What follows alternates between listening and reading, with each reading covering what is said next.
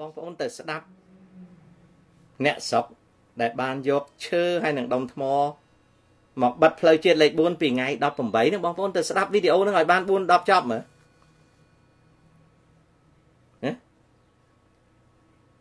ទៅយកដីគេសោះណាហើយបងប្អូនទៅ Twitter បងប្អូនចាំស្ដាប់អ្នកសិទ្ធិមនុស្សនៅ Twitter អត់មានអ្នកណាម្នាក់បញ្ចេញរឿងពិតថាអ្នកស្រុកអស់នឹងគឺជាពួកអាណាធិបតេយ្យដែលទៅចាប់ដីរបស់គេទេគេគ្រាន់តែយកវីដេអូហ្នឹងទៅផ្សាយនៅ Twitter ហើយគេទុកចំហឲ្យជនបរទេសនិយាយថាអង្គើហ ংস ាបានផ្ទុះឡើងរវាងប្រជាជននិងសមត្ថកិច្ចគេអត់ទាន់ pass judgment ទេ ប៉ុន្តែគេអត់និយាយប្រាប់ថាអ្នកស្រុកហ្នឹងណា the peoples in that video do not have titlement to the property where they occupy អ្នកសិទ្ធិមនុស្សអត់មាននិយាយមកទេនៅ Twitter បងប្អូនទៅមើល Twitter ខ្ញុំតាំងទ្រូងណាប៉ុន្តែខ្ញុំខ្ជិលត អត់មានអ្នកណានិយាយថាប្រជាជនដែលបង្កើតបញ្ហាពីថ្ងៃទី18 19ហ្នឹងណាគ្មានសិទ្ធិកម្មសិទ្ធិលើដីដែលខ្លួនកាន់កាប់អត់មានទេហើយសួរទៅវិញថាម៉េចបានខ្ញុំដឹងថាអត់ពេលព្រោះគេសុំឲ្យបញ្ចេញលិខិតស្នាមកម្មសិទ្ធិមកអត់ទេគឺ mass robbery mass occupation មានន័យថា ទៅកាន់កាប់ហើយទន្ទ្រានហើយចង់ឲ្យគេឲ្យយុត្តិធម៌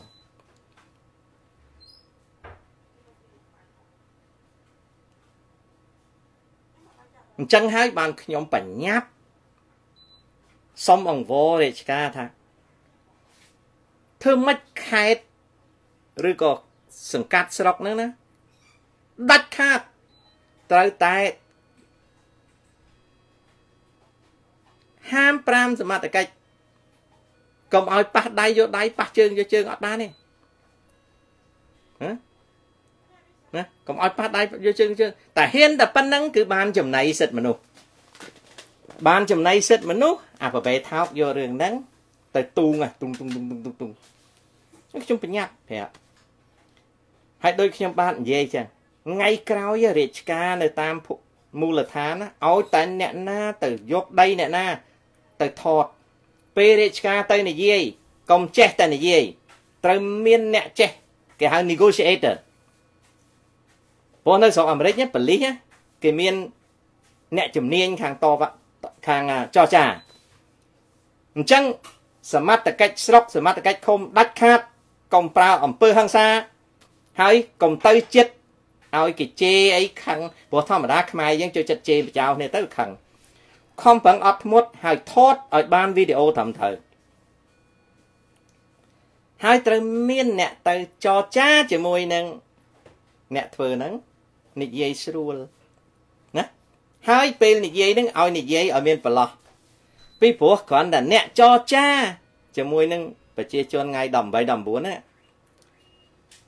មានប្រុសម្នាក់គាត់ឆ្លើយសុំសួរអានេះសុំសួរអានោះដល់អ្នកចរចាហ្នឹងគេសុំ លិខិតស្នាមចោតគេផងថាគេប៉ះដៃខ្លួនឯងហេបងអញបងអញនិយាយបងអញនិយាយបងអញនិយាយប៉ះដៃខ្ញុំឃើញទេឃើញទេឃើញបង្កលក្ខណៈទេបង្កលក្ខណៈថាខ្លួននឹងត្រូវខ្លួននឹងរងគ្រោះគេនិយាយមិនកើតទេណាគេប៉ះដៃតាមពិតក្មួយមួយហ្នឹងកាន់លើកដៃអញ្ចឹងអត់បានប៉ះដៃបរោះហ្នឹងទេប៉ុន្តែបរោះហ្នឹងនៅក្រោមកាមេរ៉ាស្រែកវងឡើងថាគេប៉ះដៃ ខ្ញុំនិយាយអីក៏មិនកើតដែរលោកឯងប៉ះដៃខ្ញុំគេសួរ3 4 5ដងសុំឲ្យចាត់ចែងរៀបចំតំណាងដល់គេបបួលតំណាង មានអ្នកស្រែកពីក្រោយថា លោកអើយជួយផងចាប់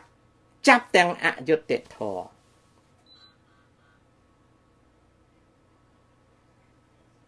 អ្នកអត់ដឹងអីសោះស្រែកពីក្រោយខ្ញុំអង្គុយមើលសារចុះសារឡើង គឺអត់ចង់ចរចាទេមិនបានអត់ចង់ចរចាព្រោះប្រជាជនហ្នឹងមិនមែនជាម្ចាស់ដីហ្នឹង គឺចង់ឲ្យបង្កើតបញ្ហា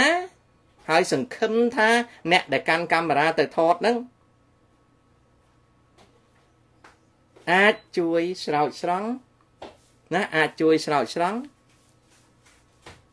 ព្រឹត្តិការណ៍ហ្នឹងឲ្យคล้ายទៅជាព្រឹត្តិការណ៍ដែលគេជិះជាន់យកដីរបស់អ្នកស្រុកវិញ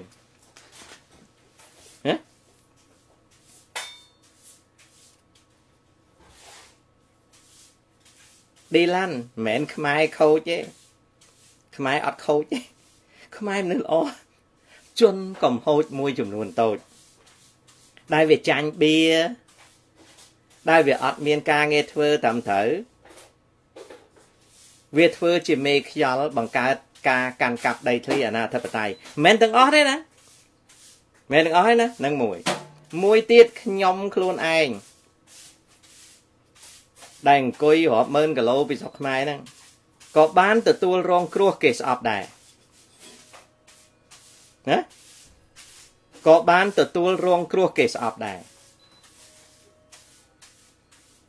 នៅពេលដែលមនុស្សខ្លះបានប្រើឈ្មោះនាមរបស់ខ្លួន ទៅធ្វើពុតជាអ្នកការពារសេចក្តីយុត្តិធម៌ហើយខ្ញុំដឹងថាអត់មានការពារសេចក្តីយុត្តិធម៌អីទេ មានអ្នកខ្លះគេអត់រស់ស៊ីទៅចាប់ដីអាណាធិបតេយ្យអញ្ចឹងទេគេចាំតែមានហេតុអាណាធិបតេយ្យគេចាញ់វីដេអូ live show ហើយគេទៅប្រាប់ម្ចាស់ដីថាគេអាចដោះស្រាយបានឲ្យលុយគេទៅគេទៅដោះស្រាយឲ្យតែបើម្ចាស់ដីនឹងមិនឲ្យលុយគេ គេផ្សាយ live show អំពាវនាវសពគ្រប់ដើម្បីដាក់សម្ពាធទៅលើម្ចាស់ដីហើយបើម្ចាស់ដីនឹង ច្រឡំទៅពឹងអសមត្ថកិច្ចហើយសមត្ថកិច្ចនឹងច្រឡំហ៊ានតែប្រើអំពើហិង្សាគេនឹងយកអំពើហិង្សាហ្នឹងទៅគៀបសង្កត់ទៀមទាឲ្យដូរចវាយខេតទៀមទាឲ្យដូរចវាយស្រុកទៀមទាឲ្យដូរមេប្រអឹមមេបលិសអញ្ចឹងគេធ្វើអញ្ចឹងហើយគេវាយចំចំឈ្មោះដើម្បីឲ្យម្ចាស់ខ្លួនដែលគេវាយចំឈ្មោះហ្នឹងយកលុយមកសោកគេគេនៅអង្គុយធ្វើ Facebook ហ្នឹងយកលុយមកសោកគេ បើយកលុយមកសោកគេ គេប្រឡត់រឿងហ្នឹងឲ្យទៅជាអត់រឿងបើគេនិយាយឈ្មោះឲ្យមិនព្រមអាហ្នឹងគេនិយាយរត់ទៅលឺដើម្បីឲ្យសម្ដេចលឺទៅថ្ងៃក្រោយប្រហែលគេគេដាក់បញ្ហាហ្នឹងជក់ខ្យល់ជាជាច័ន្ទបបោអូនឯងដឹងទេបកែចោលស្រុកនៅស្រុកខ្មែរមានជំនាញសពគ្រប់គេដាក់កង្ហាទៅជក់ខ្យល់សម្ដេចទទួលព័ត៌មានមិនស្រួលសម្ដេច ហាតែមួយម៉ាត់ចំឈ្មោះហ្នឹងឈ្មោះហ្នឹងអាលំបាត់មន្ត្រីហ្នឹងត្រូវអស់បនមូលហេតុដែលអស់បនគឺមិនអោយលុយគេព្រោះគេទៅគោះដបងគេមានទូរស័ព្ទ20គេធ្វើ live show ប៉ុន្តែគេមានទូរស័ព្ទ20ហើយនៅក្នុងទូរស័ព្ទគេមន្អភិបាលខេត្តសមាជិកគណៈអភិបាលខេត្តទូទាំងប្រទេស គឺគេមានទាំងអស់នៅក្នុង នៅក្នុងទូរស័ព្ទគេ ខ្ញុំអត់ដែលប៉ះពាល់ពួកហ្នឹងទេព្រោះពួកពួកហ្នឹងមេកន្ទ្រេងធំហ្នឹងប៉ុន្តែថ្ងៃមួយវាទៅស្ទាល់ពេកខ្ញុំគ្រាន់តែនិយាយប្រឆាត់ប្រឈៀងពួកនឹងគុំខ្ញុំពួកនឹងគុំខ្ញុំពួកនឹងគុំខ្ញុំហើយពួកនឹងប្រឡត់ទៅប្រាប់សម្ដេចនាយករដ្ឋមន្ត្រីអីចឹងចង់ឲ្យរាជការលើថាខ្ញុំនឹងចោតគេក្បត់អីចឹងអត់ មានចោតទេគ្រាន់តែសុំថាកុំឲ្យបង្កើតបញ្ហាហ្នឹងអញ្ចឹងអារឿងដីធ្លីហ្នឹងមានច្រើនជាន់ណាអារឿងដីធ្លីមានច្រើនជាន់ណាអញ្ចឹងហើយបានជាខ្ញុំសំណូមពរអង្វរថាឲ្យរាជការបញ្ញាប់ចាត់ចែងអូយអារឿងនេះយ៉ាប់ណាស់រឿងនេះយ៉ាប់ណាយ៉ាប់មែនទេយ៉ាប់ណារឿងនេះ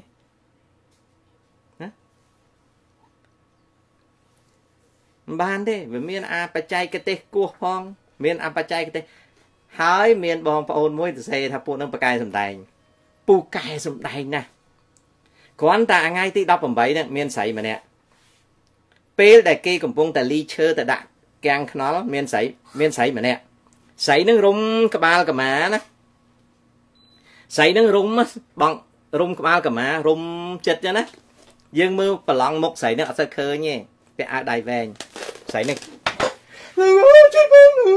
ជួយផងអើយញាប់ស្អែកអត់មានអាណាវាយអត់មានអាណាជេអត់តន់សមត្ថកិច្ចមកទេពួកអស់ហ្នឹងកំពុងតែលីដើមឈើទៅដាក់កដាលថ្នល់ផ្លូវជាតិលេខ4ប៉ុន្តែស្រីហ្នឹងគឺអញ្ចឹងឲ្យតែកាមេរ៉ាដើរទៅចិត្តកាមេរ៉ាគឺដៃនេះលួជួយផងលួជួយផងទៅមើលអានឹងហើយតួសំដែងមួយឧទាហរណ៍ជាក់ស្ដែងអត់មានអាណាវាយអត់មានអាណាធ្វើអីទៅព្រឹត្តិការណ៍អត់តាន់កើតទេអ្នកស្រុកអស់ហ្នឹងកំពុងតែបង្កើត ការបិទផ្លូវថ្ងៃទី18អត់តាន់មានអ្នកណាជាផ្លេទាំងអស់ប៉ុន្តែខ្ញុំឲ្យឧទាហរណ៍មើលអូរៀនមើលរៀនមើលគឺសំដែងមកគឺសាពះញាប់ជាងចិនសែនភ្នោទៀតចិនសែនភ្នោសាពះអត់ញាប់ដូចប្អូនស្រីហ្នឹងឯងក្មួយស្រីហ្នឹងឯងគឺសំដែងចំតួបកាត់គេហៅ dramatization ណា ណាហើយអានុងនៅក្នុងសមត្ថកិច្ចបលិសគេប្រកែប៉ុន្តែសមត្ថកិច្ចខ្មែរអត់មានអ្នកចិត្តសាស្ត្រដល់សមត្ថកិច្ចខ្មែរអត់មានអ្នកចិត្តសាស្ត្រទៅដល់ប៉ះហិង្សាសមត្ថកិច្ចរឿងអានេះរឿងរឿងប៉ាកែសំដែងមែនតើមហាប៉ាកែនៅពេលដែលវាធ្វើបាតកម្មមានអាខ្លះជួលកូនគេមកដាក់កដាលថ្នល់ អាហ្នឹងគឺខ្ញុំដឹងដែរជួនកូនគេម៉ែអើយមុខវាហ្នឹងឯងចិញ្ចឹមកូនបានថ្លោសអញ្ចឹងជួលកូនគេសោះខ្ញុំសួរពួកម៉ាក់ខ្ញុំដែលឈរជើងនៅភ្នំពេញហ្នឹងខ្ញុំសួរថាម៉េចដែរពួកហ្នឹងអញអត់ជឿទេវិញកូនថ្លោសថ្លោសសស្គូហ៎ខ្ញុំថាចុះហែងចាំបាច់ជឿអីបើពួកអ្នកធ្វើបាតកម្មហ្នឹងគេជួលកូនហ្នឹងហ្នឹង1ម៉ោងប្រហែលដុល្លារអញ្ចឹងទៅគេជួលហើយពីព្រោះពេលដែលគេមកឈរហ្នឹង វាមានអាអង្គការងឹតមួយទៀតគេប្រាប់ថាបើបាតកម្មចាប់ពីម៉ោង9ឬ8កន្លះឈប់ម៉ោងមកដល់10អាហ្នឹងបាន50ម្នាក់អានឹងហើយដែលពេលរាជការតវ៉ាអង្គការសង្គមស៊ីវិលដែលប្រើអាមេតូតហ្នឹងណាថាគេជិះជាន់រាជការគេកាត់លើគេគេមានសិទ្ធិអនុវត្តហ្នឹង អញ្ចឹងបានខ្ញុំជូនដំណឹងទៅវិញថារាជការទៅថតឲ្យបានបំបែកអាពួកហ្នឹងអស់បំបែកអាជួលកូនគេហ្នឹងណាណាបំបែកអាតឈោធ្វើបាតកម្មយកលុយហ្នឹងណាអាហ្នឹងអញ្ចឹងមានសពមានគ្រប់លោកអើយលោកមានសពមានគ្រប់ហើយឥឡូវហ្នឹងមានរឿងទៀត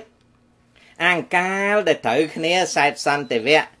អូនអើយបងអើយឡើងឋានសួគ៌អូននាំបងឡើងឋានសួគ៌បងនាំអូនឡើងឋានសួគ៌យើងអត់ប្រាប់អ្នកណាដល់ពេលយើងបែកគ្នាសេចក្តីស្នេហារបស់យើងសុំឲ្យសម្ដេចជួយ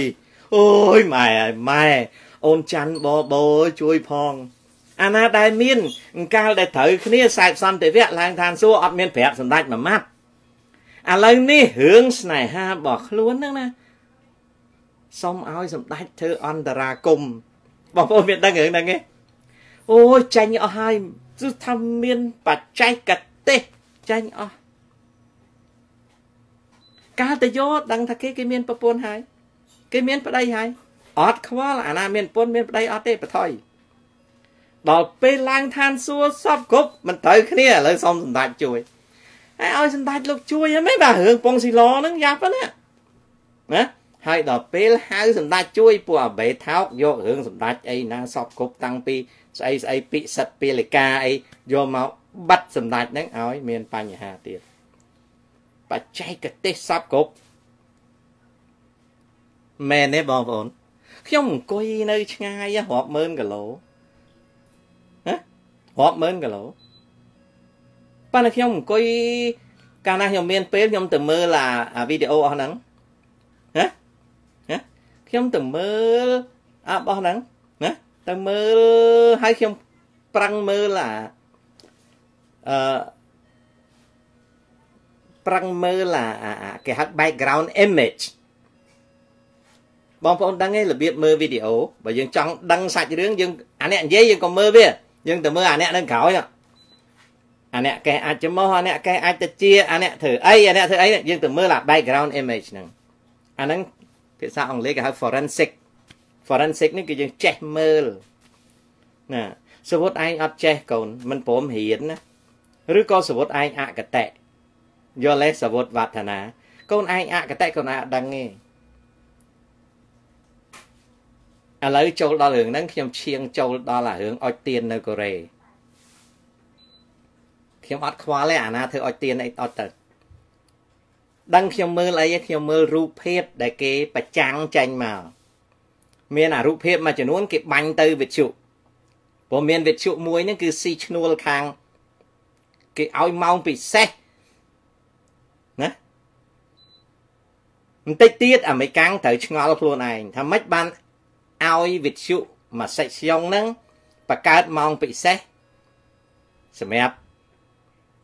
អ្នកដែលហៅឲ្យប គេអុចទៀនគេថា democracy គេថា peace ប៉ុន្តែអាអ្នកទៅធ្វើសមាជិកធំអធិបតីធំអានឹងហៅឲ្យបំផ្លាញរបបនៅកម្ពុជាឥឡូវបងប្អូនដឹងទេ they go light the candle the banner behind them is for peace and democracy but that particular person declare regime change អ្នកនោះវាបានប្រកាសរាប់អូយគឺថារាប់ដងហើយឲ្យ បះបោឲ្យបំផ្លាញឲ្យរំលំរបបនៅកម្ពុជាប៉ុន្តែពេលហ្នឹងវាទៅអុចទៀនដែលមាន banner ដាក់ថាប្រជាធិបតេយ្យនិងសន្តិភាពបងប្អូនដឹងទេអាកូរ៉េដែលចូលរួមហ្នឹងគួរគួរខ្មាស់គេខ្ញុំវាអត់ស្គាល់ពួកកូរ៉េហ្នឹងបើស្គាល់ខ្ញុំទៅសេសបត់ទៅទៀតខ្ញុំថាអ្នកឯងខ្មាស់ទេដែលមានពួកខ្មែរក្រមស្អប់ក្រមប្រកាន់ពូជសាសន៍ ទៅឈរនៅមុខបដាប្រជាធិបតេយ្យនិងសិទ្ធិមនុស្សដែលមនុស្សអស់ហ្នឹងទៀមទាឲ្យរំលំរបបនយោបាយនៅទីក្រុងភ្នំពេញអ្នកឯងដឹងទេអាហ្នឹងមួយមួយទៀតរូបថតបងប្អូនឃើញទេបងប្អូនចំណាំមើលរូបថត មានរូបថតខ្លះវាជា screen on top of screen អាមិនទៅហៅថា screen on top of screen គេទៅថត ហើយគេបាញ់ជា screen ហើយគេទៅឈរកាន់ microphone គេនិយាយរត់យោដែលវាជា screen on top of screen that mean the photographic in the background is ណា is a staging scene which is which does not tell the exact number of person okay អញ្ចឹងអាស្អីស្អីដែលឃើញនឹងយើងអង្គុយមើលទៅ សត្វតែឆ្លាតខ្ញុំមិនខ្វល់ទេធ្វើអីទៅប៉ុន្តែខ្ញុំកាន់តែប្រាប់ប្រឡយប្រឡយថាជួនកាលរបស់ហ្នឹងមកបោកភ្នែកខ្ញុំអត់បានទេពីព្រោះអាការសិក្សាស្រាវជ្រាវដែលខ្ញុំធ្វើ36ឆ្នាំហ្នឹងសំបីតរូបថតដែលដាក់នៅក្នុង Facebook ណាបងប្អូនចំណាំមើលខ្ញុំអត់ងាយ share តំណែងផ្ដេសផ្ដាស់ទេណាពីព្រោះអីពីព្រោះនៅក្នុង Facebook សិតតែ fake សិតតែคล้ายคล้ายយល់ទេអឥឡូវតមករឿងទៀតមាននារីម្នាក់បានថតទីតាំងស្ថានទូតកម្ពុជានៅម៉ាឡេស៊ីបងប្អូនមានឃើញទេបងប្អូនមានឃើញនាងម្នាក់គាត់បាញ់វីដេអូពីស្ថានទូតប្រជាណាចក្រកម្ពុជានៅម៉ាឡេស៊ីណា គាត់ថាគាត់ទៅស្ថានទូតខ្មែរហ្នឹងអ្នកធ្វើការនៅក្នុងសំដីឆ្កែដាក់គាត់ហើយគាត់បាននិយាយថាមើលចោះវាបញ្ជូនតែឆ្កែមកធ្វើទូតណាអឺសហគមន៍ខ្មែរនៅតិចសាសហែងមិនមែនសហគមន៍ទេអាខ្មោចហែងតំណាងអាណាហែងតំណាងខ្មែរនៅរដ្ឋតិចសាសអាសើក ហែងតំណាងពួក CPP នៅតិចសាសដែរមុខអាឆ្លូញហែងកុំប្រាប់ថាហែងសមាគមខ្មែរនៅតិចសាសហ្នឹងហែងគ្មានសមាគមខ្មែរទេហែងគាត់មនុស្សពីរបីគ្រាប់ហែងខំប្រឹងដាក់ឈ្មោះហែងជាសហគមន៍ខ្មែរតិចសាសអីណាបើមុខអញនឹងឆ្លក់ឆ្កែក៏បានដែរអញសុកចិត្តធ្វើឆ្កែចុះប៉ុន្តែអញមិនដែលខ្លាញ់បន្លំទេអូខេសហគមន៍ខ្មែរតិចសាសតិចសាសអាងាប់អី អាណាតំណាងបងពួកម៉ាក់អញបងប្អូនអញហ្នឹងអត់ស្គាល់ក្បាលឯងទេហើយប្រាប់ឈ្មោះមកឯងសហគមន៍ខ្មែរតិចសាសអីឯងសមាសមាសហសហគមន៍ស្អីសហគមន៍ប្រមូលអាចឆ្កែនៅតិចសាសឬប្រមូលអាចអញហ្នឹងអញសុកចិត្តធ្វើឆ្កែប៉ុន្តែអញអត់ដែរកុហកគេទេអូខេតទៅទៀតបងប្អូនដឹងទេនាងនឹងក៏ទៅថត ស្ថានទូតម៉ាឡេស៊ីអស្ថានទូតខ្មែរនៅម៉ាឡេស៊ីហើយគាត់ថារាជការខ្មែរបញ្ជូនតែឆ្កែទៅធ្វើការនៅនោះគាត់ថាបុគ្គលិកស្ថានទូតនឹងបានប្រើសម្ដីអាក្រក់ដាក់គាត់ណានាងនឹងអត់ចាញ់មុខទេហើយពេលអូន Alpha គាត់យក អាវីដេអូហ្នឹងមក share ខ្ញុំក៏នៅសុំសួរប៉ុណ្ណេះថានាងដែលថតវីដេអូហ្នឹងណាទៅធ្វើការនៅម៉ាឡេស៊ីហ្នឹងណាទៅទៅកាន់អីទៅមិនកាន់ប៉ាសពតហើយប៉ាសពតនេះឆ្កែវាចាញ់ឲ្យនាងអីយ៉ាងម៉េចនាងដែលនិយាយហៅរាជការថារាជការបញ្ជូនតែឆ្កែទៅធ្វើទូតម៉ាឡេស៊ីហ្នឹងណាសួរថានាងហ្នឹងកាលដែលទៅម៉ាឡេស៊ីហ្នឹងណា ប៉ាសពតហ្នឹងឆ្កែវាចាញ់ឲ្យអីបើឆ្កែចាញ់ឲ្យខ្ញុំចង់ទៅសួរម៉ាឡេស៊ីវិញថាភ្លើមែនមិនបានទទួលឲ្យនាងហ្នឹងចូលម៉ាឡេស៊ីធ្វើការបើប៉ាសពតហ្នឹងឆ្កែចាញ់ឲ្យអញ្ចឹងយើងអាចដឹងភ្លាមណាណាយើងអាចដឹងភ្លាមថានាងដែលបង្កើតវីដេអូហើយជេរទូតហ្នឹងរហូតដល់ជេររាជការថារាជការបញ្ជូនតែឆ្កែទៅធ្វើការនៅម៉ាឡេស៊ីហ្នឹងនាងហ្នឹង ស្ដាប់សម្ដីអីសពគ្រប់ទៅគឺនាងហ្នឹងគាត់អត់ណយទេណាគាត់អត់ណយទេគាត់ពាក្យខ្មែរថាមិនណយហើយគាត់អត់បានប្រាប់រឿងយើងទេថាគាត់ទៅទូតនឹងមានបញ្ហាអីអ្នកណាស្ដីឲ្យគាត់ស្ដីរឿងអីអត់មានទេគាត់ជេរស្ថានទូតគាត់ថតស្ថានទូតហ្នឹងហើយគាត់ជេរគេគាត់ថាទូតខ្មែរហ្នឹងដូចឆ្កែអញ្ចឹង ហើយអ្នកបញ្ជូនមនុស្សមកធ្វើការអ្នកបញ្ជូនការងារនៅទូតម៉ាឡេស៊ីទូតខ្មែរនៅម៉ាឡេស៊ីសិតតែបញ្ជូនពួកអាឆ្កែមកសួរថាអានងពិតឬមិនពិតអានឹងអត់ពិតទេ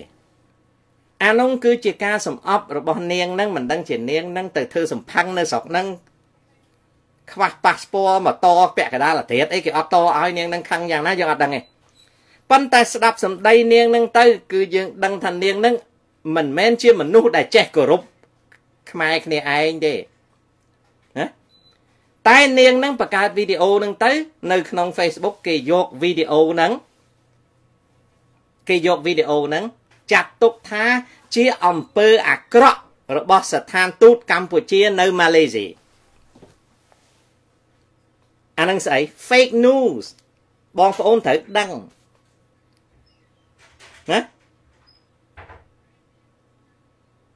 យើងអត់អាចទៅទទួលវីដេអូអញ្ចឹងហើយយើងទទួលស្គាល់ថាជាទុកកង្វល់ឬក៏ជាការខូចខាតឬក៏ជាអំពើអាក្រក់អីកើតទេហើយស្ដាប់នាងស្រីនឹងដឹងហើយគឺជេរគេហ្នឹងនាងហ្នឹងស្មាទោសបើទៅធ្វើជា domestic helper ណាមានន័យថានាងហ្នឹងបើសិនជាទៅធ្វើការនៅម៉ាឡេស៊ីជាអ្នកបំរើនៅផ្ទះអីខ្ញុំអត់ជួលទេព្រោះសំដីហ្នឹងសំដីសំផឹងសៅជ័យមកហ្មង អត់ពូជអត់អំបោឲ្យខ្លួនស្រីផងប៉ិនដឹងមិនទេនៅមានអ្នកជឿនៅក្នុង Facebook អូយគេ share គ្រប់គ្នាគេថាអានោះគឺជា testimony គឺជាបទអទស្សនាមួយច្បាស់ណាស់ដែលទូតខ្មែរនៅម៉ាឡេស៊ីហ្នឹង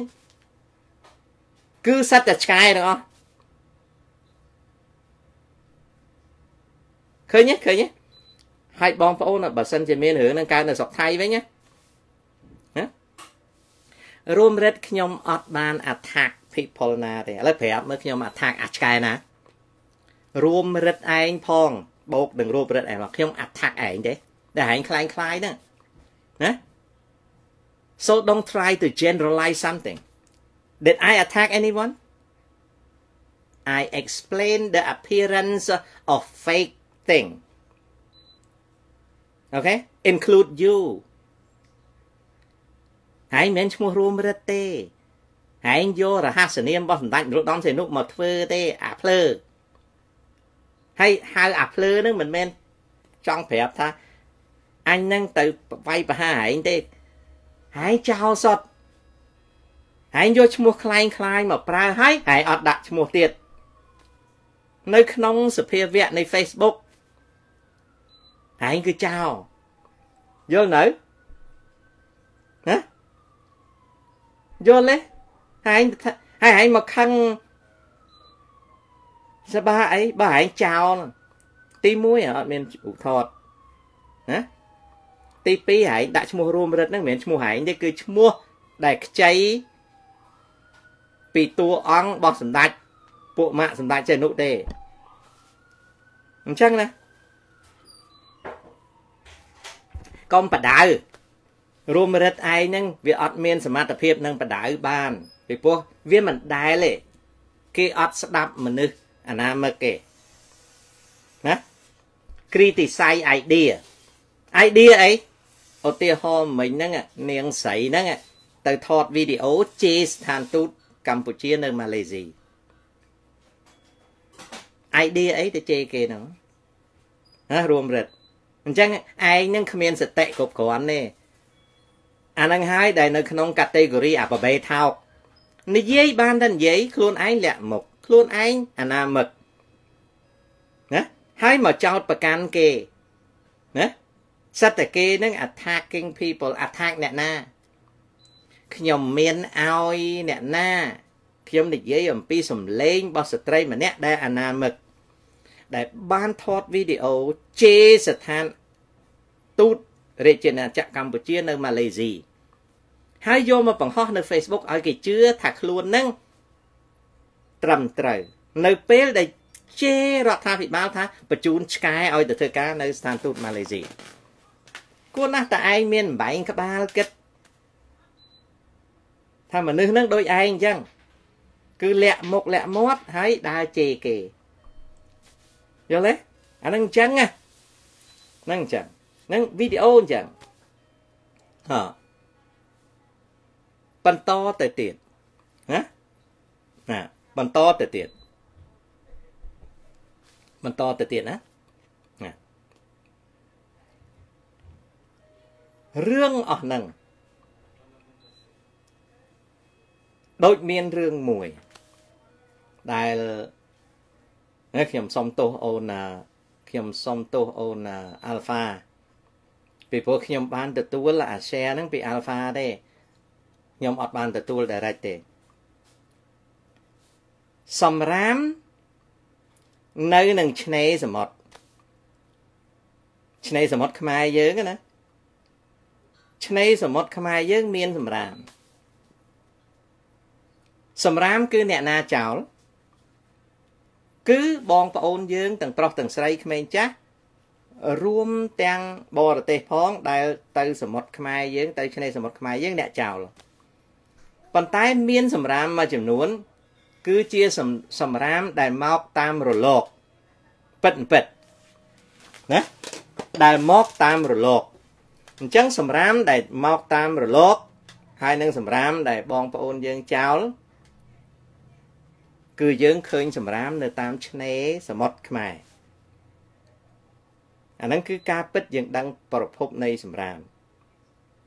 អញ្ចឹងកាលណាយើងឃើញសម្រាមនៅលើឆ្នេរសមុទ្រខ្មែរយើងយើងហាមាត់ឡើងយើងបន្ទោសយើងថាកំពូចអាខ្មែរហ្នឹងណារដ្ឋរាជរដ្ឋាភិបាលហ្នឹងឃើញទេសំបីតសមុទ្រឆ្នេរសមុទ្រក៏សិតសម្រាមបើយើងហ៊ានទៅហាមាត់ ស្កោលទោសថាអានឹងជារឿងរបស់រាជការមកពីរាជការនឹងវាអាក្រក់បានជាឆ្នេរសមុទ្រនឹងវាមានសម្រាមណាអាការស្កោលទោសរបស់យើងនឹងវារួមចំណែកវាវាវាពិតហើយដែលរាជការលោកអត់ចាត់ចែងអានោះប៉ុន្តែការបន្ទោសរាជការហ្នឹងតោងដឹងអំពីបញ្ហានៃសម្រាមតាមឆ្នេរសមុទ្រអូខេ សពថ្ងៃនេះប្រទេសកម្ពុជាខ្ញុំអត់ដឹងណាណាណាអូវិឡាអាចមកពីកោះផងអាចមកពីគេផងណាឆ្នេរសមុទ្រនៅក្នុងប្រទេសកម្ពុជា មិនទាន់រៀបរយទេ មានឆ្នេរមួយចំនួនសូមបីតែអ្នកសង្គ្រោះ ណាអ្នកអ្នកសង្គ្រោះអ្នកដែលដែលរាជការឬក៏សមាគមឆ្នេរសមុទ្រហ្នឹងគេរៀបចំឲ្យមាន life guard ណាណាក៏ឆ្នេរសមុទ្រខ្មែរយើងអត់សូវមានឆ្នេរច្រើនដែលបំពាក់ដោយអ្នកសង្គ្រោះទេពិតពិតពិតទេឬខ្ញុំនិយាយខុសជួយជួយប្រាប់ខ្ញុំផង beaches in Cambodia there are so many beaches in Cambodia without without lifeguard មានឆ្នេរមួយចំនួនអត់មានអ្នកប្រចាំការសង្គ្រោះទេមែនទេតែឆ្នេរមួយចំនួននោះបងប្អូនយើងទៅលេងពីព្រោះបងប្អូនយើងគិតថាទៅលេងណាណាគឺបងប្អូនយើងគិតថាទៅលេងក្បាលណាសក់អាហ្នឹងអាណាលងទឹកអាហ្នឹងហើយណា អញ្ចឹងឆ្នេរសមុទ្រប្រទេសកម្ពុជាយើងអត់តន់រៀបរយទេខ្ញុំសូមជំរាបថានៅអាមេរិកមានឆ្នេរ3ប្រភេទណាបាទមានឆ្នេរ3ប្រភេទនៅអាមេរិកអាមួយគេហៅថាឆ្នេរសមុទ្រសម្រាប់ឲ្យសាធារណជនចូលលេង គេហៅថា public beach អាមួយទៀតជា private beach គឺជាឆ្នេរសមុទ្ររបស់ឯកជនដែលយើងសាធារណជនអត់ចូលបានទេអាមួយទៀតណាវាជា off limit beach គឺឆ្នេរសមុទ្រដែលគេអត់ឲ្យហែលទឹកទេគេអត់ឲ្យអ្នកណាទៅលេងទេកាលណាលេងគេឃើញគេចាប់គេផាកគេអត់ឲ្យហ្មងនៅចំពោះឆ្នេរសមុទ្រដែលគេឲ្យសាធារណជនលេង គឺឆ្នេរសមុទ្រនឹងត្រូវមានសេវាកម្មសេវាកម្មទី1ដែលត្រូវមាន គឺសេវាកម្មសម្អាតឆ្នេរដែលរដ្ឋនឹងយកពន្ធដារនឹងទៅ បង្កើតសេវាកម្មសម្អាតឆ្នេរដោយមានម៉ាស៊ីនរាស់យកសម្រាមធំ ហើយមានម៉ាស៊ីន ប្រមូលខ្សាច់នឹងរែងយកសម្រាមតូចចេញរៀងរាល់ថ្ងៃមុននឹងគេបើកឆ្នេរនឹងឲ្យសាធារណជនប្រើនៅអាមេរិកគេត្រូវសម្អាតឆ្នេរនឹងសិនអូខេហើយបន្ទាប់មកទៀតឆ្នេរដែលសាធារណជននឹងគេឲ្យប្រើវាទាល់តែមានអ្នកចាំសង្គ្រោះជា life guard បន្ទាប់មកទៀតឆ្នេរដែលបើកឲ្យសាធារណជនប្រើនៅអាមេរិកដាច់ខាតត្រូវតែមានសមត្ថកិច្ចប៉ូលីសហើយយ៉ាងហោចណាស់បើគ្មានប៉ុស្តិ៍ទេត្រូវមានអំប្លង់ត្រូវមានរថយន្តសង្គ្រោះបន្ទាន់បើអត់មានប្រដាប់អស់ហ្នឹងទេ គឺឆ្នេរហ្នឹងគេអត់បើកបានទេឥឡូវងាកទៅកម្ពុជាវិញណាកម្ពុជាមានអាហ្នឹងហើយនៅ បើកម្ពុជាអត់ទាន់មានអាហ្នឹងទេ អាសម្រាមដែលយើងឃើញហ្នឹងគឺយើងចែកគ្នាទទួលខុសត្រូវហើយណាគឺយើងចែកគ្នាទទួលខុសត្រូវហើយណាហើយខ្ញុំក៏មិនទាន់ដឹងថានៅប្រទេសកម្ពុជាយើង មាន ច្បាប់សម្រាប់ឆ្នេរសមុទ្រហើយនៅទេខ្ញុំសង្ឃឹមថាមានខ្លះប៉ុន្តែ អាចមិនគ្រប់គ្រាន់ណាអាចមិនគ្រប់គ្រាន់អាចមិនគ្រប់គ្រាន់ណាបាទអាចមិនគ្រប់គ្រាន់ថាមានច្បាប់ឆ្នេរសមុទ្រហើយនៅអញ្ចឹងឆ្នេរអាមេរិកដែលឃើញអត់មានសម្រាមហ្នឹងណាហើយនឹងឆ្នេរនៅប្រទេសនានាណាដែលអត់សម្រាមមកអំពីសេវាកម្មគេសម្អាតរាល់ថ្ងៃរីឯឆ្នេរដែលគេមិនឲ្យប្រើអាហ្នឹងមានសម្រាម ដូចយើងអញ្ចឹងជួនកាលមានសម្រាមអញ្ចឹងមួយខែគេបញ្ជូនសេវាកម្មទៅទៅកោសទៅជូតអីម្ដងប៉ុន្តែយើងអាចឃើញធាងដូងសបកដូងអីអញ្ចឹងឆ្នេរនៅប្រទេសថៃឡង់ក៏គេអញ្ចឹងដែរណាលោកអ្នកអូខេឥឡូវហ្នឹងដោយសារនិយាយរឿងឆ្នេរហ្នឹងខ្ញុំចង់សួររឿងមួយ មានបងប្អូនណាខ្លះស្គាល់ឆ្នេរកែបទេសុំសុំ comment មក មានបងប្អូនណាស្គាល់ឆ្នេរកែបទេមានបានទៅលេងឆ្នេរកែបទេ Yes or no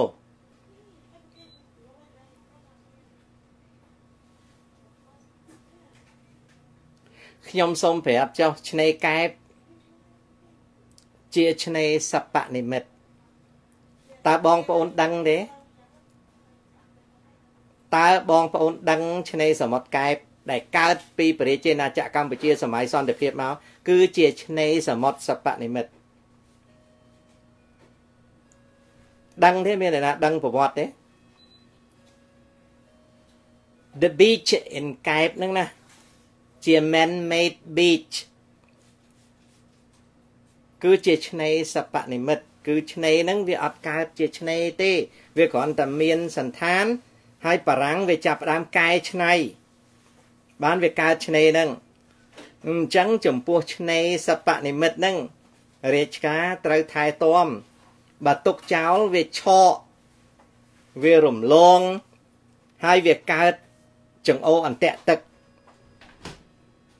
អ្វីដែលហៅថាចង្អូអន្ទាក់ទឹកសប្ងៃគេមិនដឹងហៅអីទេណាដែលហៅថាចង្អូអន្ទាក់ទឹកយើងឃើញទឹកហ្នឹងធម្មតាអញ្ចឹងឯងប៉ុន្តែយើងដើរចូលជ្រៅអាចលងណាលងងាប់ណា ដោយសារឆ្នេរហ្នឹងអត់ថែទាំអញ្ចឹងឆ្នេរកែបមិនមិនដូចជាឆ្នេរកំពង់សោមទេគឺជាឆ្នេរសត្វបនិមិត្តហើយសួរថាម៉េចបានខ្ញុំដឹងព្រោះខ្ញុំសិក្សាប្រវត្តិសាស្ត្រ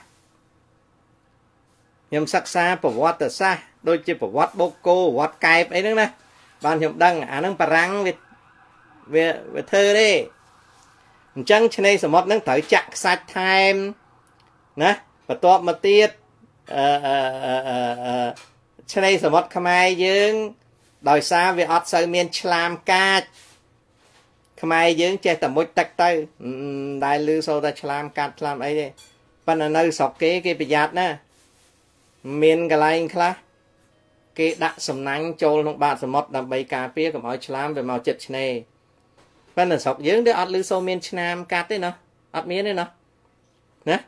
ឆ្នេរសមុទ្រស្រុកយើងវាអត់មានលឺសូរឆ្លាមអត់លឺសូរឆ្លាមហ្នឹងរឿងឆ្នេរសមុទ្របាទហេមានកពើណានៅសមុទ្រកពើស្រុកកពើវានៅស្វាមកពើវានៅក្នុងឆ្នេរណាដែលមានទឹកសាប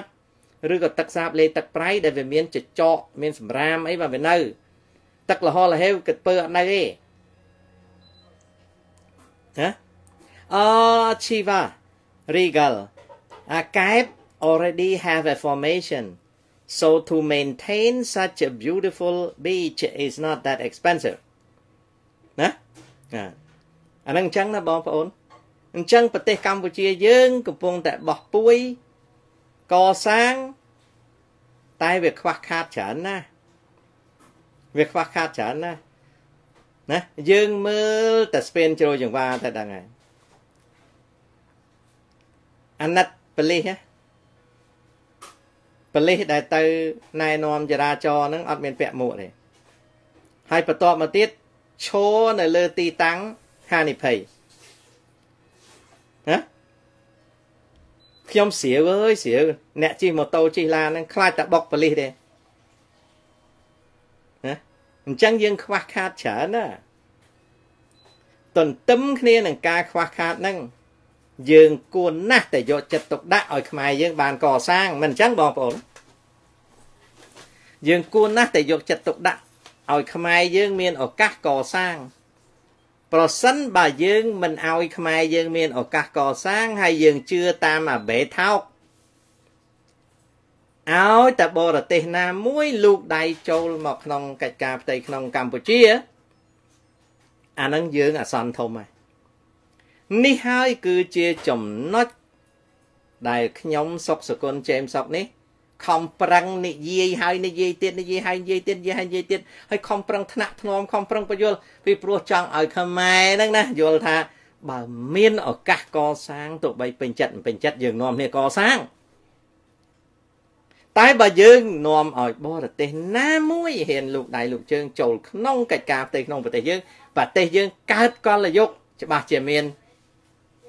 ប្រទេសមួយនោះលោកដៃមកយកប្រទេសយើងមិនខានហើយប្រទេសមួយនោះខ្ញុំអត់ចង់និយាយឈ្មោះទេពីព្រោះអីបានខ្ញុំអត់ចង់និយាយឈ្មោះខ្ញុំមិនចង់បង្កើតបាតុភិបតែខ្ញុំសុំអង្វរថាប្រយ័ត្នប្រទេសមួយនោះតាមការពិតរ៉ែភូកុបសាសធម្មជាតិយើងនឹងអត់ច្រើនទេប៉ុន្តែប្រទេសយើងស្ថិតនៅក្នុងគេហៅថា prolific situation ណាគឺស្ថិតនៅក្នុងស្ថានភាពមួយ ដែលជនជាតិគេអាចយកអាចយកប្រទេសយើងនឹងមកមកមកប្រើដោយមានប្រយោជន៍ច្រើនណាស់អញ្ចឹងសុំឲ្យខ្មែរយើងសុំសាពះខ្មែរយើងសុំឲ្យខ្មែរយើងព្យាយាមយល់អំពីប្រយោជន៍នៃទឹកដីយើង ការរំលោភបំផ្លិចបំផ្លាញទាំងបាល់ម៉ានយើងយល់យើងដឹងតែយើងត្រូវតែខំប្រឹងស្វែងយល់ហើយខ្ញុំក៏ខំប្រឹងឡាប៊ីខំប្រឹងវខំប្រឹងអីដើម្បីឲ្យយើងនឹងបានប្រទេសប្រទេសយើងនេះវានៅក្នុង geo geo position មួយដែលគេយកប្រើបានល្អណាស់ប៉ុន្តែបងប្អូនយើងអត់សូវយល់អំពីប្រយោជន៍នៃប្រទេសយើង អញ្ចឹងខ្ញុំភ័យណាអូខេឥឡូវចូលមកវគ្គទៀតមកវគ្គនេះពីម្សិលមិញខ្ញុំបាននិយាយហើយថាស្ថានទូតអាមេរិកនឹងតម្លើងសង្វៀនបដាល់ជាមួយនឹងចិននៅកម្ពុជាសេចក្តីអំពាវនាវនិងសេចក្តីអង្វររបស់ខ្ញុំទៅសុំឲ្យស្ថានទូតអាមេរិកមេតាអាណិតកម្ពុជាកុំយកប្រទេសកម្ពុជាធ្វើជាសង្វៀនបដាល់ជាមួយចិន មានចាំមិនសិនមិញ ឥឡូវខ្ញុំសុំជំរាបអំពីសំយោគនៃខ្ញុំសុំជម្រាបអំពីសំយោគនៃនៃការតាមដានព្រឹត្តិការណ៍ពីព្រោះពេលខ្ញុំនិយាយ live show ម្សិលមិញហ្នឹងមានមិត្តភ័ក្ដិខ្ញុំខ្លះនៅក្នុងរដ្ឋាភិបាលអាមេរិកហ្នឹងក៏គេបោះសម្ដីឲ្យខ្ញុំគេថាស្អីដែលខ្ញុំនិយាយហ្នឹង មានខ្លឹមសារគួរពិចារណាហើយខ្ញុំក៏អង្វរគេខ្ញុំសួរគេខ្ញុំសួរគេថាជួយផងតើនយោបាយរបស់លោកប្រធានាធិបតីចង់ឲ្យស្ថានទូតនឹងបើកកន្លែង boxing ជាមួយចិននៅភ្នំពេញហ៎គេថាណា President Donald Trump does not have a specific policy or State Department probably does not have a specific specific policy ដែលយកទូតអាមេរិកហ្នឹងទៅបើកសង្វៀនសម្រាប់ boxing នៅស្រុកខ្មែរទេណាអញ្ចឹងខ្ញុំមិនមែនចង់និយាយថាស្ថានទូតធ្វើអីខុសទេខ្ញុំអង្វរឲ្យស្ថានទូតមេត្តាកុំយកប្រទេសកម្ពុជា ធ្វើកន្លែង boxing ណាអានឹងអញ្ចឹងណា ហ្នឹងចំណុចមួយ តែខ្ញុំចង់សំយោគរឿងហ្នឹងជូនបន្តិចថែម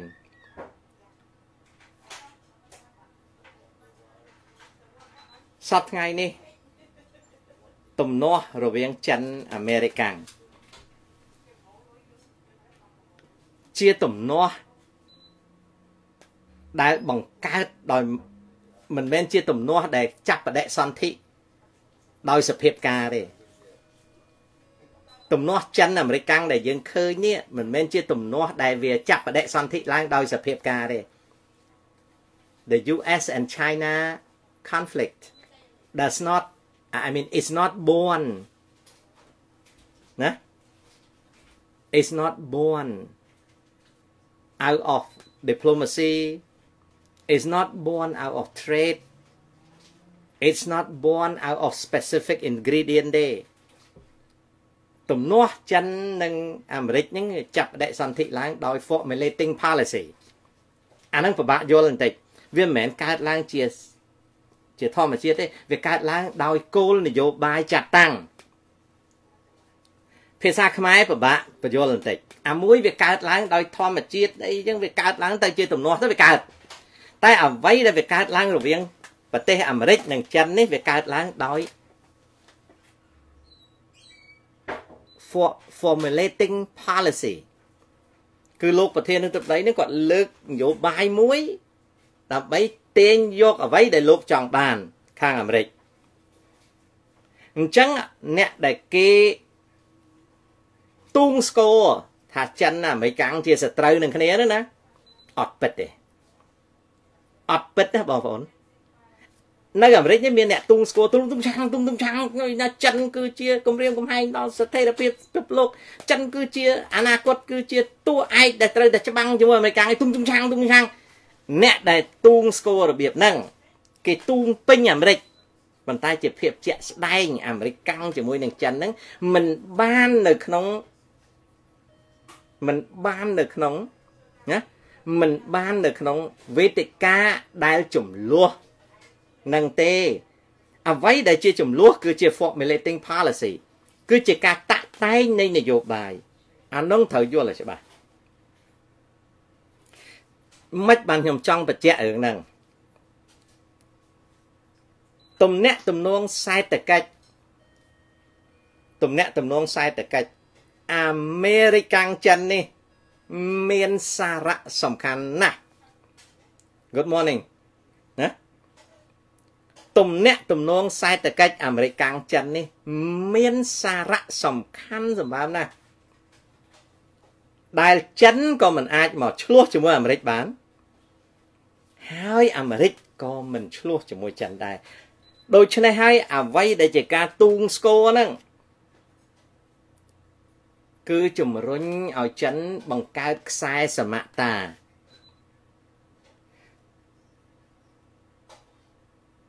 អាមេរិកកាំងគឺជាមហាអំណាចគាត់មានខ្សែសមតារបស់គាត់ស្អីទៅហៅថាខ្សែសមតា អង់គ្លេសគេហៅថា line of equilibrium line of equilibrium អានោះថ្ងៃក្រោយខ្ញុំខំប្រឹងបញ្យល់ទៀតខ្ញុំបញ្យល់ម្ដងហើយប៉ុន្តែវាអត់ច្បាស់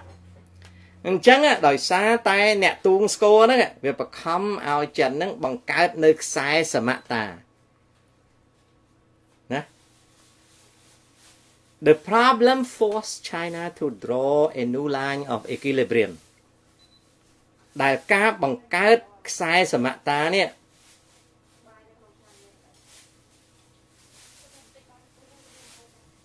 ទៅថ្ងៃមុខណារាប់បញ្ចូលកម្ពុជា នៅក្នុងខ្សែសមតាថ្មី អញ្ចឹងអ្វីដែលទូតអាមេរិកាំងនៅភ្នំពេញកំពុងតែរៀបចំសង្វៀនវាយវាយវាយទឹកទី2ណាអូយខ្ញុំភ័យខ្ញុំឮសូររាជបណ្ឌិតសភាកម្ពុជាហ្មងរៀបចំឌីបាហ្នឹងចង់រៀបចំនិយាយរឿងហ្នឹងឯកឧត្តមផៃសិផានពិតទេបើខ្ញុំភ័យខ្ញុំភ័យមិនមែនភ័យអីទេខ្ញុំភ័យថាខ្ញុំចេះតែសង្ស័យ ថាមានមន្ត្រីណាមួយនៅក្នុងស្ថានទូតអាមេរិកធ្វើការអត្តនោម័តទេដឹង I kind of suspect that one of few diplomat in US embassy conducting foreign policy independently ហើយបើសិនណាជាមានអ្នកការទូតអាមេរិកណាមួយនៅក្នុងស្ថានទូតអាមេរិកទីក្រុងភ្នំពេញកំពុងតែអនុវត្តនៅគោលនយោបាយការបរទេសរបៀបឯករាជ្យពលគឺមិនបាន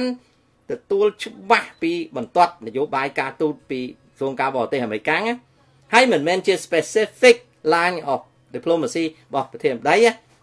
អានោះវាអាចធ្វើឲ្យចិនអន់ចិត្តហើយកុំច្រឡំណា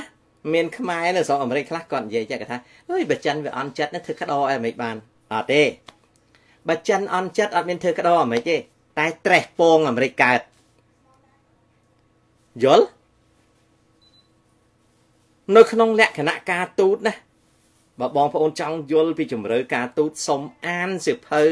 របស់លោក Henry Kissinger អត់សូវមានអ្នកណាចូលចិត្ត Henry Kissinger ទេប៉ុន្តែ Henry Kissinger គឺជាបិតាការទូត one of the father one of the very prominent authority of US diplomacy អញ្ចឹងការទូតណាខ្ញុំសូមប្រាប់ចំណុចខ្សោយរបស់អាមេរិករឿងមួយអាមេរិកជា super power សប្តាហ៍អាមេរិកជា lone super power មានន័យថាគឺជាមហាអំណាចទោលហើយអាមេរិកតាំងពីដើមមកអ្នកការទូតអាមេរិកអត់សូវមាន formation ដូច British ទេអ្នកការទូតអាមេរិកអត់សូវមាន formation ដូចទូតអង់គ្លេសទេទោះបីអ្នកការទូតអាមេរិកជា ជាមហាអំណាចមែនប៉ុន្តែអ្នកការទូតអាមេរិកភាកច្រើនលីបថៅកាត់ផ្សារបងប្អូនយល់ពាក្យថាលីបថៅកាត់ផ្សារទេអ្នកការទូតអាមេរិកជួនកាលទៅអត់ទេណានេះលោក William Hyde ដែលជាអគ្គរដ្ឋទូតអាមេរិកកន្លងទៅនៅកម្ពុជា he's one of the best មានចិត្តធ្ងន់ណា ហើយយើងអាចបញ្ចូលចិត្តគាត់អីបន្តិចតួចប៉ុន្តែគាត់ចាត់ទុកថាជាអ្នកការទូតមួយដែលនៅប្រចាំប្រទេសកម្ពុជាហើយចិត្តធ្ងន់ហើយធ្វើកិច្ចការបានច្រើនជាមួយនឹងរាជការលោក William Hay ណាអ្នកការទូតអាមេរិកច្រើនលីបថៅកាត់ផ្សារដោយដោយគិតថាខ្លួនជាមហាអំណាចជួនកាលអត់សូវគោរពគេទេ ពាក្យអង់គ្លេសថា don't give a damn ណាដែលប្រែជាភាសាខ្មែរថាអត់សូវយកចិត្តទុកដាក់ពីចិត្តថ្លើមរបស់ប្រទេសដែលខ្លួនតំណាងហ្នឹងទេអាងតែខ្លួនជា super power ហ្នឹងធ្វើខុសក៏វាមិនអីដែរណាវាផ្ទុយគ្នាអំពីអរិយាប័ត្ររបស់អ្នកការទូតអង់គ្លេសនៅក្នុងចំណោមការទូតទាំងអស់ការទូតដែល មានទេពកោសល ជាងគេនៅក្នុងពិភពលោកគឺពួកអង់គ្លេសអ្នកណារៀនការទូតពីអង់គ្លេសដូចជប៉ុនអញ្ចឹងជប៉ុនគេរៀន formation ការទូតគេគេរៀនពីអង់គ្លេសអញ្ចឹងទូតជប៉ុនតិចលហឹមយល់ទេទូតកោងទៅទូតកោងគឺទូតអាមេរិកាំងមិនបន្ទោសទេអាមេរិកាំងច្រើនគិត ពាក្យថាកោងណាអាមេរិកាំងធ្វើអីអត់សូវគិតគេទេធ្វើធ្វើទៅហ្មងពពកអាងតែខ្លួននឹងវាមហាអំណាចហើយបើទូតដែលមានការលំបាកដែរតែមិនកោងទេទូតប្រាំង formation ការទូតប្រាំងក៏មិនសូវប្រកែដែរតែបើទូតអង់គ្លេសវិញថ្នាក់ថ្នមណាទូតអង់គ្លេសថ្នាក់ថ្នមអញ្ចឹងបានជប៉ុននឹងតិចលហឹមយ៉ាងទៅ ហើយបើនិយាយពីរឿងទូតចិនវិញណាបងប្អូនមានសង្ស័យទេណាណាណាបងប្អូនមានសង្ស័យទេមានសង្ស័យថាតើការទូតចិនចាប់កំណើតតាម formation អ្នកណាអ្នករៀបទូតចិនណា អ្នកណាអ្នករៀបទូតចិនខ្ញុំមិនបាច់សួរវែងឆ្ងាយអ្នករៀបទូតចិនណាគឺមានការបរិច្ចាគដ៏ធំ មានការចូលរួមទៅ contribution ដ៏ធំបំផុតពីលោកនាយករដ្ឋមន្ត្រីជូអេងឡាយអ្វីត្បិតតែលោកនាយករដ្ឋមន្ត្រីជូអេងឡាយគាត់រៀនពីប្រាំងមែនប៉ុន្តែនៅពេលដែលលោកនាយករដ្ឋមន្ត្រីជូអេងឡាយគាត់ធ្វើការទូត គាត់មាន preference មានការជឿទុកចិត្តលើវិស័យការទូតអង់គ្លេសអញ្ចឹងគាត់រៀបវិស័យការទូតចិននៅក្រោមប្រកបគាត់ដូចជា Marshall Chen Yi អីអត់ចេះទូតទេជួយអញឡាយគាត់បង្រៀនទេជួយអញឡាយគាត់បង្រៀនការទូតដូច្នេះហើយបដិសន្ធិនៃរបបការទូតរបស់ចិន ឈាមជ័រគឺនៅ ក្នុង philosophy ហើយនឹងជំនឿរបស់លោកនាយករដ្ឋមន្ត្រីជួយឡាយដល់ក្រោយពីគាត់ចប់ទៅ អ្នកដែលបន្តវេនពង្រឹងការទូតចិនគឺលោកប្រធានតេងសៀភិងហើយលោកប្រធានតេងសៀភិងនឹងគាត់ជឿទុកចិត្តលើកិច្ចការទូត តាមរបត់របស់អង់គ្លេសណានៅពេលដែលគាត់មកជួបលេកុនយូគាត់សួរលេកុនយូគាត់ថាអឺលីសាងលីសាងឯងយល់យ៉ាងម៉េចដែរអនាគតការទូតរបស់ចិនតើលីសាងឯងមាន recommendation ទេមានការណែនាំទេតើគួរថាចិនហ្នឹងជ្រើសរើសយក form ចុងការទូតណាលេកិនយល់ថាមិនបាច់ទេ ណាលីកុនយូគាត់ប្រាប់ទៅ Thanksgiving ហ្នឹងគាត់ថាឡៅតេងមិនបាច់ទេ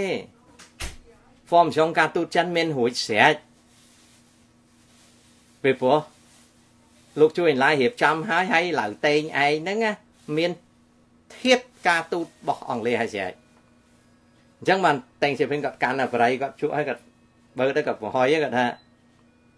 អរគុណណាស់លីសាងមើលខ្ញុំហ្នឹង មើលដូចមើលធ្លាយអាវអាវអាវយឺតក្នុងខ្ញុំបានតែងសិភិងហ្នឹងគាត់ទៅវិញគាត់បង្រៀនគ្នាគាត់គាត់ប្រាប់តាំងពីសៅស៊ីយ៉ាងណាព្រីមៀសៅស៊ីយ៉ាងដែលគេចាប់ដាក់គុកនៅក្នុងអត្ថបទសម្ងាត់មេម៉ូរបស់សៅស៊ីយ៉ាងដែលលាក់នៅក្នុងខ្នើយ នៅពេលសៅស៊ីយ៉ាងងាប់ទៅខ្សែអាត់ហ្នឹងគេយកចេញមកគេរត់ពន្ធមកអាមេរិកគេបង្កើតបានសភៅមួយកម្រាស់ប៉ុណ្ណេះទៅមើលតែងសិភិងបដៅឲ្យការទូតចិនហ្នឹងកុំប្រើធាតកុម្មុយនីស do not use uh, uh,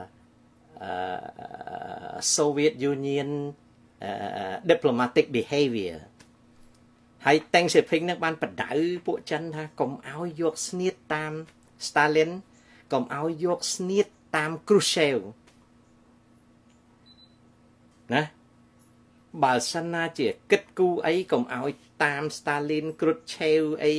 ណាកុំឲ្យ Brezhnev អីកុំយកណាកុំយកតាមឲ្យសោះកុំយកតាមណាឲ្យយកតាមអង់គ្លេសណាហើយគាត់ចង្អុលបង្ហាញទៀតគាត់ថា Gorbachev ហ្នឹង ក៏មានធាតអង់គ្លេសដែរអញ្ចឹងអាធាតការទូតអង់គ្លេសនឹងសំខាន់ណាស់ណាប្រទេសកម្ពុជាយើងយើងអត់បានទទួល form ចុងអង់គ្លេសយើងទទួល form ចុងប្រាំងពីព្រោះប្រមុខការទូតយើងពី93មកមិនអាយដាមហៅលំហងអាយដាមហៅលំហងគាត់ជា graduate of École Royale d'Administration អញ្ចឹង form ចុងគាត់ form ចុងអឺណាឥឡូវហ្នឹងអាយដាមប្រាក់សខុនក៏ form ចុងអឺណាដែរតាមខ្ញុំ ចាំណាអញ្ចឹង form ចុងការទូតយើង most likely a French orientation ណាអញ្ចឹងប៉ុន្តែមិនដាច់យកលោក form ចុងពីវៀតណាមមក form ចុងការទូតវៀតណាមហើយ form ចុងការទូតវៀតណាមវាមានធាតវាមានធាតអង់គ្លេសពីព្រោះវៀតណាមគេរៀបការទូតគេគេមើលជួយអញឡាយ ឧត្តមសេនីយ៍របស់វៀតណាមភាគច្រើនចេញពីវាងប៉ាវចំណែកពួក diplomat ណាណាចំណែកពួក diplomat រៀនតាម form ចុងតាមការណែនាំរបស់ប្រធានអញ្ចឹងយកមកតាមអង់គ្លេសដែរណាចឹងណា Yeah if you are trained by in Singaporean information បងឯងក៏ជា UK UK ingredient ដែរអញ្ចឹងរឿងការទូតហ្នឹងអញ្ចឹងអញ្ចឹងវិលទៅវិញអារឿង boxing នៅសង្វៀនទឹកទី2នៅកម្ពុជាខ្ញុំព្រួយចិត្តណាខ្ញុំព្រួយចិត្តណាបាទខ្ញុំព្រួយចិត្តហ៎អញ្ចឹងខ្ញុំសំយោគមកថាខ្លាចលោក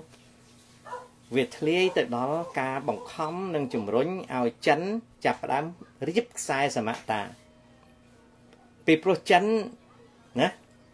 អូយកូប៉ាកុយអើយណាសម្រាប់ចិត្តដេញចោលចុះកុំបាក់ណា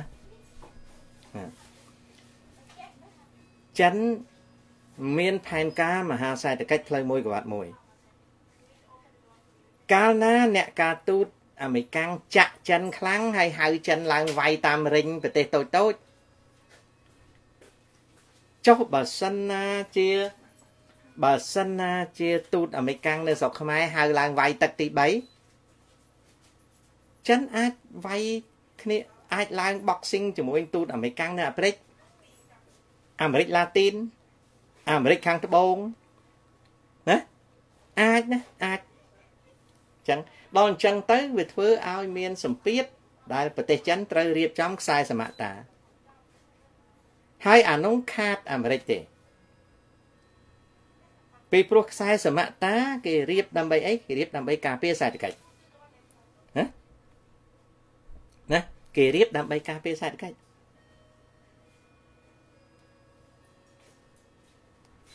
ប៉ុន្តែល្អដែរនៅពេលដែលអាមេរិកបង្ហាញអា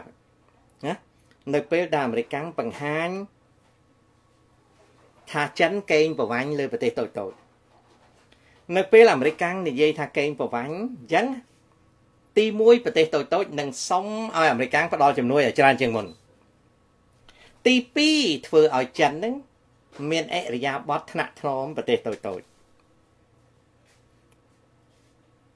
ណាអញ្ចឹងអ្វីដែលស្ថានទូតអាមេរិកនៅប្រទេសកម្ពុជាកំពុងធ្វើហ្នឹងណា ជា short term វាប៉ះពាល់ដល់រាជរដ្ឋាភិបាលខ្មែរតែ in long term វា beneficial វិញណាបើអាមេរិកនិយាយថាចិនកេងប្រវាញ់អាមេរិកឲ្យលុយថែមមកហើយចិនដើម្បីការពារកុំឲ្យពិភពលោកចាត់ទុកថាចិនកេងប្រវាញ់ចិនក៏ត្រូវឲ្យលុយថែមអញ្ចឹងប្រទេសតូចតូច become beneficial recipient ណា អាហ្នឹងអញ្ចឹងណាអញ្ចឹងតែយល់ណាវិថីជីវិតអញ្ចឹងសុខបាយបញ្ជូនទៅមួយចុះណាយល់ទេបងប្អូនណាអាហ្នឹងគឺជាចំណុចមួយដែលខ្ញុំកំពុងតែតាមដានតាមដានពិចារណាជាសំយោគអញ្ចឹងលោកអ្នកប្រុសស្រីខ្ញុំបាទជូនប៉ុណ្ណឹងណា សូមលោកអ្នកប្រុសស្រីប្រកបទៅដោយសេចក្តីសុខក្នុងទិវាចុងសប្តាហ៍ហើយរៀបចំធ្វើការថ្ងៃស្អែកខ្ញុំរកចាញ់ពីធ្វើការសូមអរគុណ